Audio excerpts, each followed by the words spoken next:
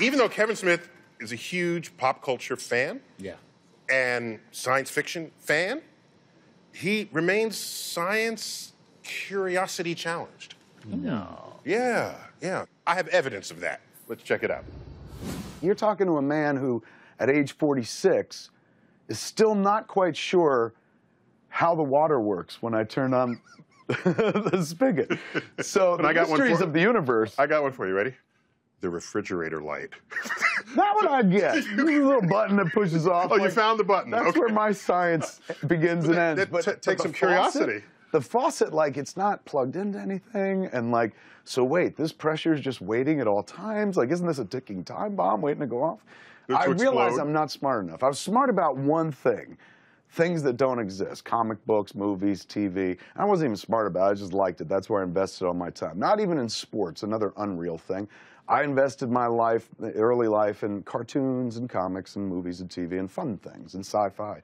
And so it just worked out. I don't know what I'd be doing right now if the world didn't fall the way it did, but it just worked out that right now people are interested in those things culturally. It's no longer pop culture, it is the culture. And because I was raised in it, I'm well versed in it. Suddenly there's this weird, you know, the universe aligns, as you know, in some time, in some moments, and it has given me a path that's like, so I could literally just be a fan of things for a living. This is a job, and so that's that's kind of what I've I've you know I love making films and stuff, but really that's only one half of my career. The rest of it is just spent mostly celebrating things that I enjoy. Largely, of course, a lot of it centered around the unreal sci-fi. So that's where my sci ends with a fi. You've made a brilliant career out of the sci. Well, I have used people such as yourself, communities that you represent, Right.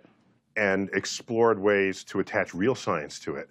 And I have found that if you if you identify a fan base mm. that has rabid interest in a thing, and I find a way to attach something real to it, oh my God! Give me give me all of that that you can.